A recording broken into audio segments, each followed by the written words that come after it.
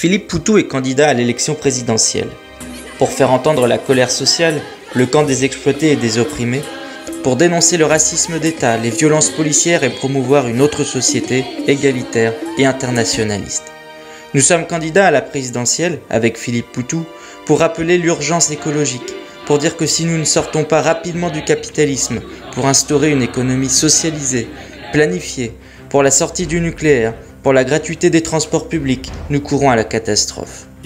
Mais pour que Philippe Poutou puisse défendre celles et ceux d'en bas et faire entendre nos idées sur les plateaux télé et dans les urnes, il nous faut réunir 500 parrainages d'élus.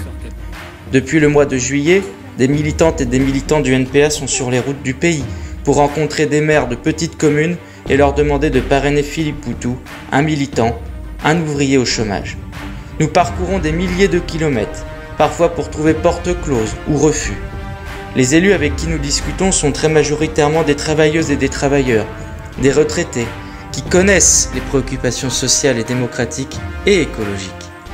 Cette crise démocratique que nous vivons, l'abstention toujours plus importante, le rejet des politiciens professionnels et des institutions est la résultante d'un mépris pour les classes populaires et le monde rural.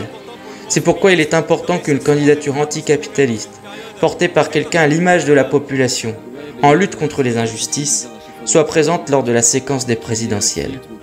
Ce début de campagne nous donne raison, avec des salles remplies de jeunes et de travailleurs pour écouter les propositions de Philippe Poutou à Paris, à Toulouse, à Strasbourg, à Rennes, à Grenoble.